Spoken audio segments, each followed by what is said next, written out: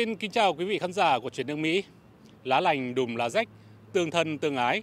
Đó là một trong những truyền thống tốt đẹp, lâu đời của người Việt Nam, duy trì và phát huy ở nhiều nơi trên thế giới. Nước Mỹ xa xôi, cách Việt Nam hơn nửa vòng trái đất cũng không phải là ngoại lệ. Nhưng hoạt động vì cộng đồng của người Việt ở khu vực thủ đô Washington DC của nước Mỹ là một ví dụ. Ở đó, những người gốc Việt đã cùng chung tay giúp đỡ bà con người Việt và cả những người Mỹ bản xứ đang còn gặp nhiều khó khăn.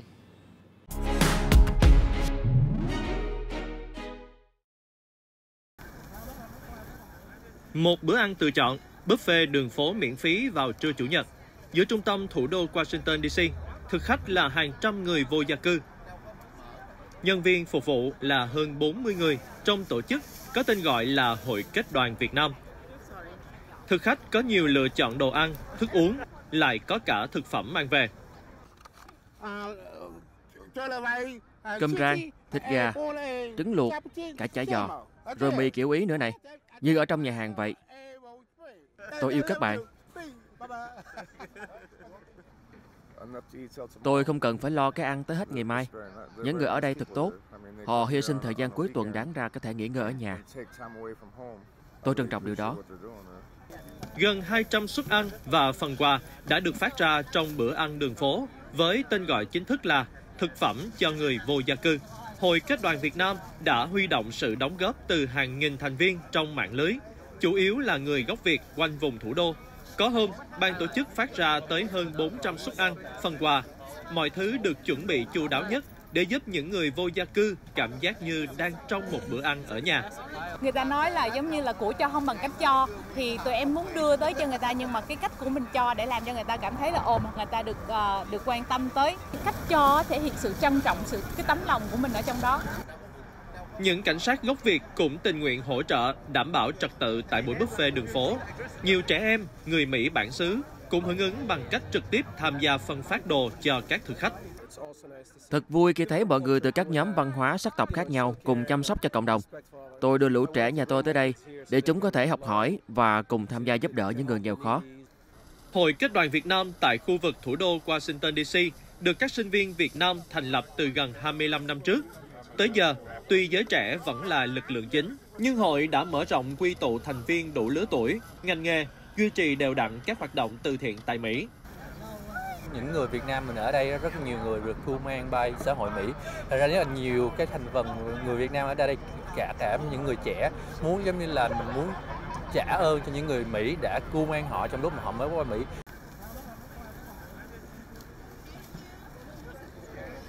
Trong câu chuyện vừa rồi, khán giả của truyền nước Mỹ đã thấy sự góp mặt của những cảnh sát gốc Việt nhằm hỗ trợ đảm bảo trật tự tại buổi phát thực phẩm cho người vô gia cư. Trên thực tế, ở thủ đô nước Mỹ, những người cảnh sát gốc Việt này còn đang tham gia nhiều hoạt động khác nhằm hỗ trợ cộng đồng, đặc biệt là những cộng đồng người thiểu số. Xin chào các bạn. Tôi là cảnh sát viên Steven Nguyễn, thuộc văn phòng đặc trách liên lạc trực thuộc Sở Cảnh sát thủ đô Washington DC. Nhưng mà trong lúc trong lúc này thì là trường không có mở cửa thì nó như thế nào? Nó có phải ở nhà nó học hay Cảnh sát viên Steve Nguyễn đang tư vấn cho người gốc Việt về chuyện quản lý con cái bằng tiếng Việt. Người dân gọi tới số 911, đường dây nóng của cảnh sát. Chỉ cần nói tôi nói tiếng Việt thì sẽ được kết nối ngay với nhân viên cảnh sát nói tiếng Việt hoặc sẽ nhận được sự trợ giúp của phiên dịch nói tiếng Việt. Các ngôn ngữ khác cũng tương tự. Nhiều khi những cái chuyện mà không có liên quan tới cảnh sát người ta cũng hỏi. Đó, thành ra là mình cũng phải kiếm cách. Nếu mình không có cái câu trả lời thì mình cũng nhờ người này nhờ người kia. Mình đi tìm hiểu thêm rồi mình thông báo lại cho người ta biết. Mình cắt nghĩa những cái quyền lợi gì người ta có thể có. Những những cái gì mà người ta khi người ta gọi tới đây người ta sẽ được cái sự giúp đỡ. Chứ rằng không có phải sợ sệt gì hết. Các tài liệu và giao tiếp của cảnh sát với người dân được thực hiện bằng nhiều thứ tiếng thiểu số. Trong đó có tiếng Việt, tiếng Lào hay cả tiếng Hờ Mông và ngôn ngữ ký hiệu. Văn phòng liên lạc đặc biệt của cảnh sát thủ đô Washington giữ vai trò quan trọng trong hỗ trợ các cộng đồng người thiểu số, cộng đồng người yếu thế, bao gồm các bộ phận chuyên trách về các cộng đồng người châu Á, người Latin, người gốc Phi, người đồng tính chuyển giới hay người điếc hoặc nặng tai. Chúng tôi chỉ muốn đảm bảo mối quan hệ tích cực với các cộng đồng dân cư để họ sẵn sàng tìm tới cảnh sát khi cần bất cứ thứ gì. Chúng tôi không thể ngăn chặn mọi tội phạm, nhưng khi có mối quan hệ tích cực với cộng đồng thì họ sẽ cung cấp thông tin và có thể cùng chúng tôi ngăn chặn tội phạm. Mang đồ ăn miễn phí tới cho những người vô gia cư, người khó khăn trong khắp thành phố. Đó là một phần công việc của cảnh sát thủ đô Washington DC, trong đó có những cảnh sát người gốc Việt. We are here to help.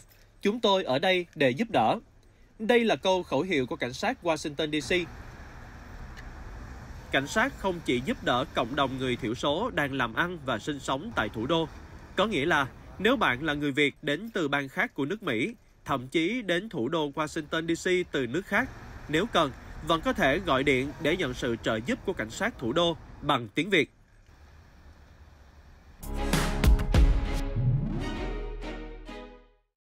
Kính chào quý vị của Chuyện nước Mỹ.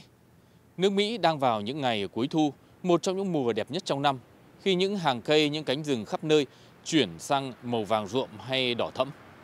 Và một trong những điểm đến hấp dẫn nhất trong thời gian này chính là vùng Đông Bắc nước Mỹ.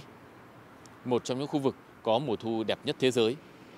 Người ta thường đến đây trên những chuyến xe ô tô hay còn gọi là road trip, lái xe xuyên cánh rừng để ngắm nhìn bức tranh thiên nhiên kỳ vĩ của mùa thu, để tận hưởng sự lãng mạn của mùa thu với lá vàng, lá đỏ.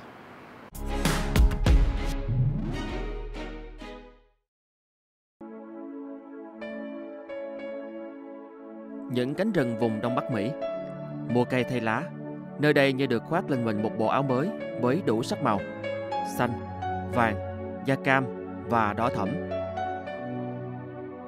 Các con đường xuyên qua khu vực này là một trong những cung đường đẹp nhất cho dân đi road trip Ông Tom đến từ New York. 35 năm qua, năm nào ông cũng lên vùng Đông Bắc Mỹ để đi road trip và chèo thuyền kayak. Đây là cách để ông thoát khỏi sự ồn ào phố thị và đến gần hơn với thiên nhiên.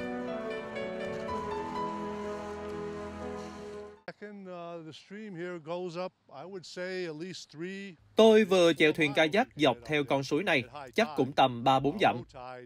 May mắn là hôm nay nước dâng cao, nếu không tôi đã bị mắc kẹt ngoài đó rồi. Trong lúc chèo thuyền, tôi gặp rất nhiều động vật hoang dã và được ngắm rừng cây thay lá tuyệt đẹp với đủ sắc màu.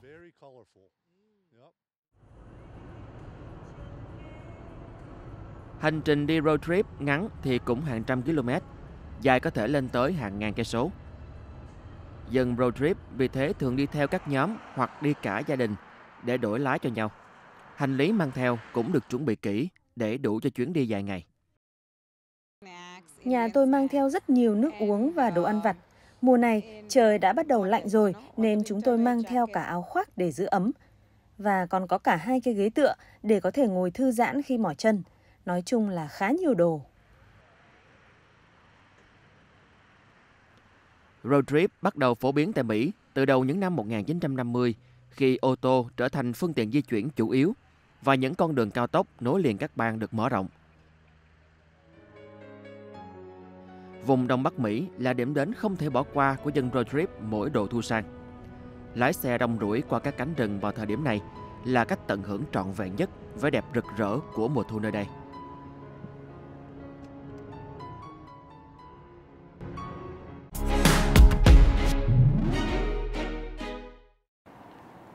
Mùa thu ở Mỹ quả thật là một khoảng thời gian tuyệt vời. Lá vàng, lá đỏ mùa thu cho người ta cảm giác lãng mạn, nhưng nó cũng tạo ra một số bất tiện. Lá vàng rồi sẽ rụng, sau mỗi cơn gió, sau mỗi đêm, các tuyến đường ở Mỹ lại phủ đầy lá rụng. Lá vàng, lá đỏ lúc này đã trở thành rác và rác thì phải dọn. Đây là lúc phải áp dụng nhiều biện pháp khác nhau để thu gom một lượng lớn rác là lá rụng ở các đô thị tại Mỹ.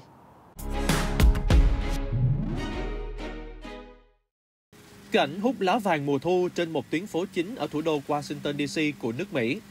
Các công nhân dùng loại máy hút có công suất lớn để hút những đống lá rụng ven đường. Đây là loại máy hút lá chuyên dụng, di động, có thể kéo đi, hoạt động trên nhiều địa hình khác nhau và có thể thấy ở khắp các đô thị Mỹ mỗi mùa lá rụng. Một nhóm công nhân khác thì sử dụng những chiếc máy thổi khoát vai, động cơ chạy bằng xăng để thổi dồn, vùng lá rụng thành từng đống trước khi được hút lên xe ô tô. Các công ty thực hiện việc thu gom lá rụng là các nhà thầu, ký hợp đồng vệ sinh, thu gom lá với chính quyền thành phố, định kỳ các ngày trong tuần sẽ điều xe có trang bị máy hút, thổi, đi thu gom lá trên các tuyến phố có hợp đồng thu gom. Tất cả lá cây rơi xuống vào mùa này. Nhiệm vụ của chúng tôi là dồn chúng về một chỗ bằng dẫn máy thổi. Trong mùa lá rụng, mỗi điểm chúng tôi thu dọn, thổi lá và chở đi 3 lần. Hết điểm này đến điểm kia. Chúng tôi làm việc 6 ngày trong tuần, từ thứ hai tới thứ bảy và từ 8 giờ sáng tới 4 giờ chiều.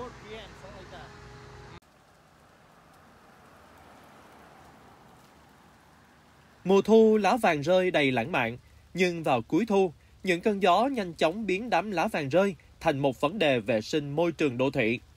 Lá rụng thường dính chặt đất đá sau mỗi trận mưa. Trong những trường hợp như vậy, công nhân phải dùng chổi quét cho hết lớp bùn đất thì máy thổi và máy hút lá mới có thể hút sạch. Dọn lá rụng là công việc mang tính nặng nhọc, nên công nhân đảm nhận công việc này thường là lao động nam, có thể lực tốt, đảm bảo thực hiện được công việc trong điều kiện thời tiết khác nhau. Và họ thường là những người lao động nhập cư, chủ yếu từ Mexico và một số nước Nam Mỹ khác. Anh thấy đấy, cứ mỗi lần ô tô chạy qua, lá vàng lại được cuốn bay khắp nơi, nên rất vất vả để thu gom. Thế điều gì sẽ xảy ra khi các anh vừa dọn xong thì lại rụng xuống? Thì lần sau phải quay lại dọn thôi. Giờ tôi đang phải đi đây.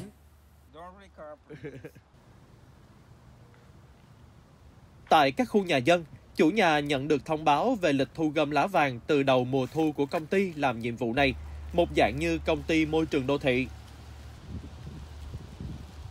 Nắm được lịch này, chủ nhà chủ động tự làm hoặc phải thuê người thu gom lá cây rụng trong khoảng đất của mình và phần vỉa hè trước nhà, dồn lá rụng ra lòng đường để xe của các công ty đi hút. Còn với những khu dân cư tập trung như khu chung cư hay tòa nhà cao tầng, cư dân đã đóng tiền vệ sinh nên công ty môi trường đô thị phải xử lý cả lá rụng trong vườn cả lối đi. Hàng trăm hàng ngàn tấn lá vàng, thành phố phải chi tiền để dọn dẹp và xử lý. Nhưng trên thực tế, nó lại được xem là chất liệu đầu vào không thể thiếu trong việc gìn giữ cảnh quan môi trường của cả vùng thành thị và nông thôn ở Mỹ. Giờ thì những lá thu vàng sau khi được thu gom đã được mang ủ thành mùng, được mang đi bón phủ gốc cây trên khắp các tuyến đường nhằm cung cấp thêm dưỡng chất cho cây và giữ độ ẩm cho đất. Sau khi rải xong mùn ở tuyến đường này, chúng tôi sẽ đi sang đường Wisconsin, đường Arizona và nhiều khu vực khác nữa. Còn trồng cây sẽ do đơn vị khác làm. Lá vàng mùa thu ở Mỹ không chỉ là sự lãng mạn mà còn đi kèm vô số bất tiện và công sức dọn dẹp. Như ở thủ đô Washington DC, thành phố được mệnh danh là thành phố trong rừng, thì những người công nhân nhập cư này cùng cách thu gom xử lý lá rụng một cách chuyên nghiệp đang góp phần giữ cho thành phố sạch đẹp sau mỗi mùa lá vàng rơi.